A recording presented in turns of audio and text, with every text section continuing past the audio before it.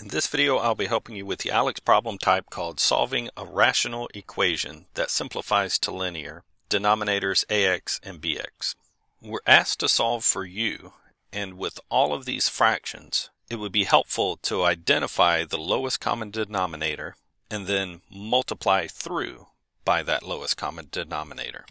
So from each of these denominators we have 2u, 14, and 7u my lowest common denominator is going to be 14u because 14u as factors all of these three. It has a 2u, it has a 14, and it has a 7u.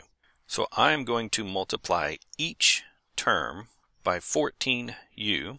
So here writing it in, each term on the left, each term on the right gets multiplied by 14u. And if I'm using the proper lowest common denominator, this means that all the fractions should cancel. Looking at the left, I see that I have a u in the denominator and a u in the numerator.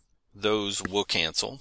And then with the 2 in the denominator and the 14 in the numerator, that simplifies. 2 goes into 2 once, and 2 goes into 14 seven times.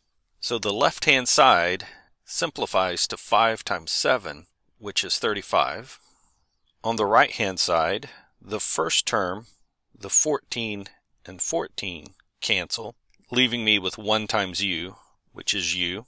And then for the last term, the u's cancel, and 7 goes into 14 twice. So I'm left with 6 times 2, which is 12. And the reason this is such a powerful technique is because in one step we have gone from this equation that we're trying to solve to this equation that we're trying to solve.